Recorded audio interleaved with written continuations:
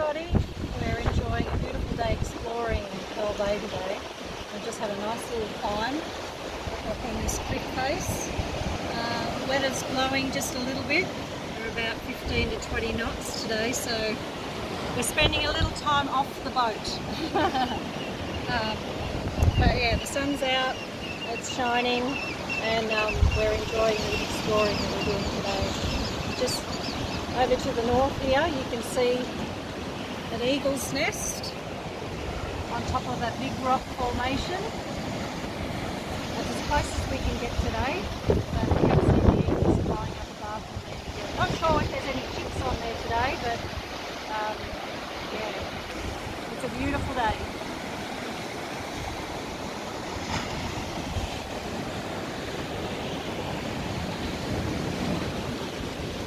Wish you were here.